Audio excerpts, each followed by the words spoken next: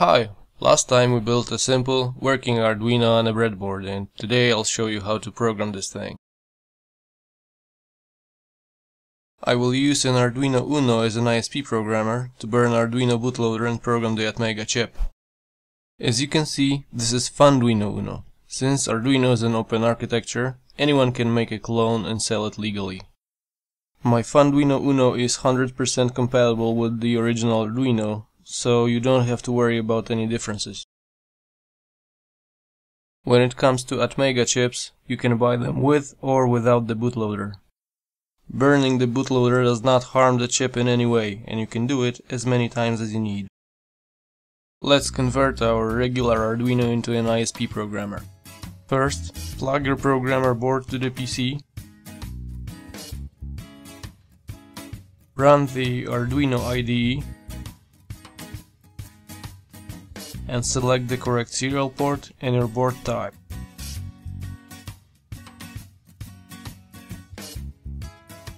Next, select File, Examples, Arduino ISP,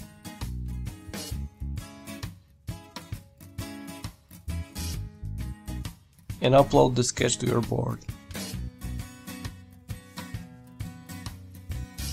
Now unplug the Arduino ISP programmer and hook it up to the simple Arduino on a breadboard that we built in the previous episode.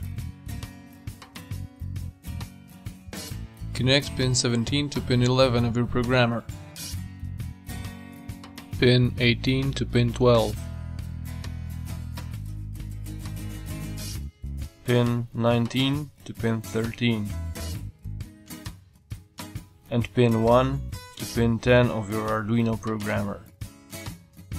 Connect ground and 5 volt rails to your Arduino programmer. Plug the programmer back to the PC and again check your serial port. This time choose your target board type. My chip is Atmega 8, so I'm selecting Arduino NG or older with Atmega 8. Now select Arduino as ISP from programmer menu.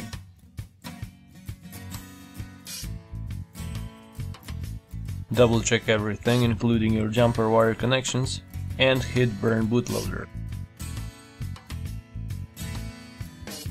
After a while you should see a message done burning bootloader.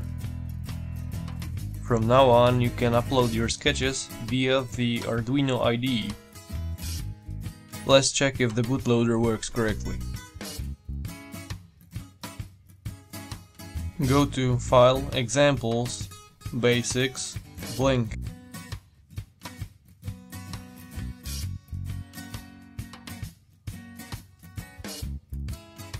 Check again if your serial port and board type is set to your Arduino on a breadboard. If everything's okay, go ahead and upload the sketch.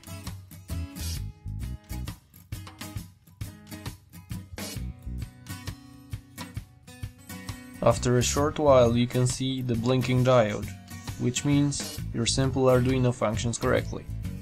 At this point, you can unplug your Arduino programmer and plug your standalone Arduino to an external power source. The 7805 voltage regulator needs 7 to 16 volts to function properly.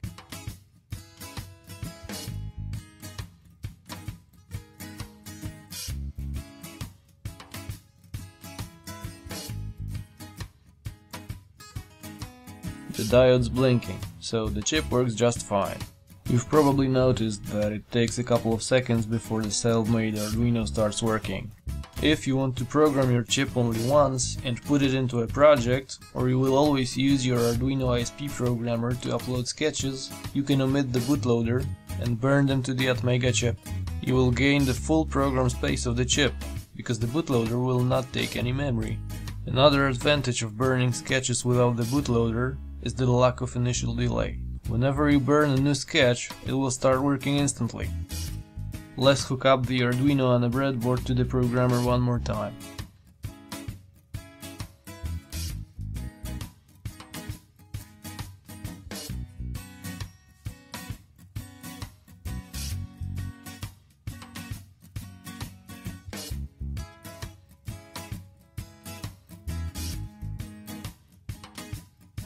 Now change the blinking speed in the sketch to 100 milliseconds to see the difference.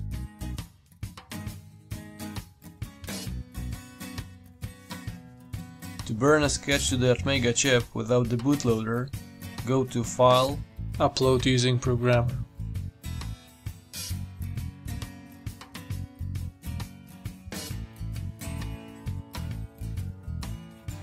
After it's done, let's unplug the board from the programmer and use a power supply.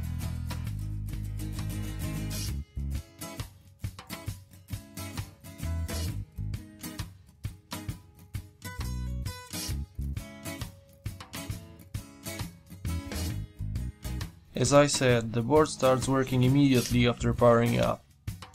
Now you know how to program a simple Arduino on a breadboard. If you have any questions or want to add something, feel free to write a comment. If you like this video, please share it with your friends and subscribe to my channel. Thanks for watching and see you next time.